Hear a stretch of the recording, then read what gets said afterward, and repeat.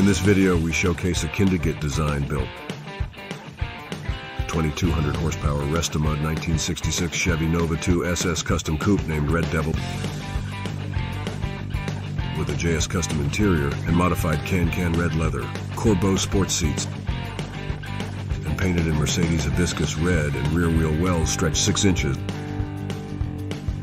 with a 638 cubic inch aluminum block and heads with 96 millimeter twin turbos built by Nelson Racing that is capable of 4,000 horsepower. And Pirelli tires 225 3520 front and 405 2524 rear. With billet specialties Reaper wheels 20 inch front and 24 inch rear. And a rocker panel extended 2 inches, Kindig It smooth door handles and hidden roll cage with body modifications including shaved emblems and tightened bumpers. And the rear wheel wells stretched 6 inches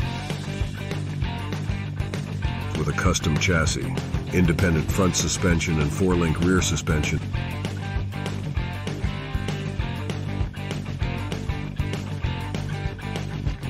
An HDX 66C Nova instrument system from Dakota Digital with a large TFT message center for high-tech data displays.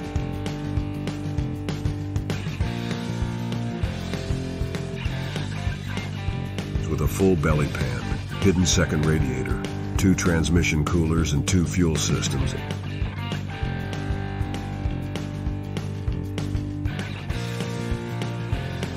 And Wilwood 6 piston calipers up front and 4 piston calipers at the back.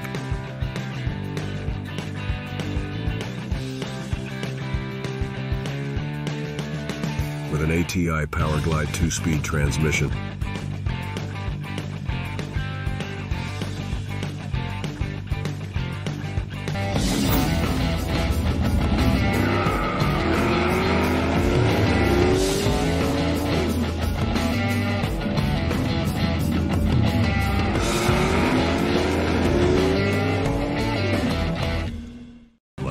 Subscribe to see more videos like this in the future.